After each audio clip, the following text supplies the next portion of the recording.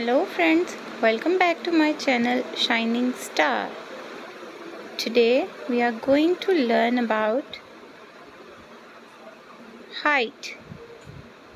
We will learn about taller and shorter objects.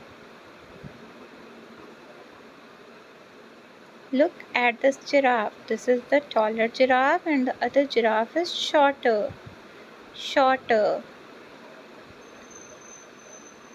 The man is taller than the little boy and the boy is shorter than the man. The palm tree is taller than the other palm tree. The palm tree is shorter, shorter. Traffic light is taller than the stop sign. The stop sign is shorter, shorter. The tree is taller, taller. And the house is shorter, shorter.